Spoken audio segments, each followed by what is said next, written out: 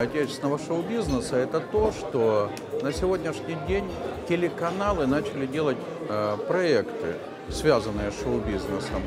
Это, с одной стороны, очень хорошо, потому что мы открываем новые имена, а с другой стороны, плохо. Почему? Потому что они все потом, получаются, рафинированные, нет самобытности. Их потом э, причесывает при, под одну гребенку, и, в общем-то, ничего не происходит. С, с момента появления «Фабрики звезд» и до сегодняшнего дня по пальцам можно пересчитать э, личности, которые появились как артисты. При этом очень много талантливых людей было э, перемолено этой мясорубкой.